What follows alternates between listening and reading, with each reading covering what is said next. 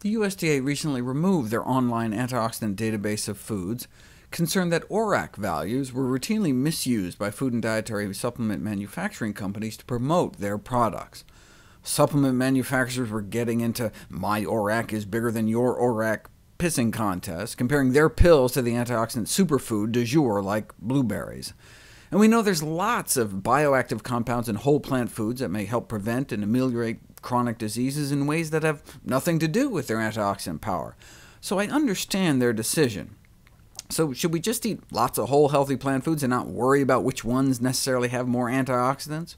Or does one's dietary antioxidant intake matter?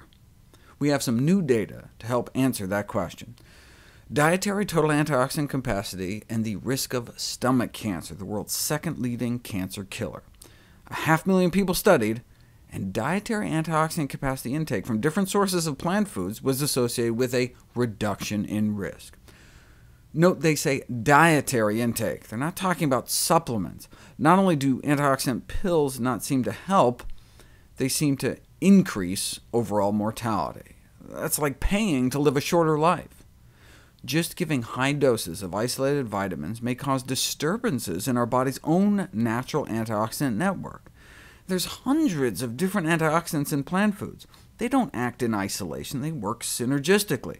Mother Nature cannot be trapped in a bottle. Similar results were recently reported with non-Hodgkin's lymphoma. The more ORAC units in food we eat per day, the lower our cancer risk may drop. Though antioxidants are not greens, we're particularly protective. Look at that. Going from eating like one serving of green leafy vegetables per week to more like a serving per day may cut our odds of lymphoma in half. Should we be worried about antioxidant intake during cancer treatment, since that's how most chemo drugs work, by creating free radicals? According to some of the latest reviews, there's no evidence of antioxidant interference with chemotherapy, and in fact, they may actually improve treatment response and patient survival.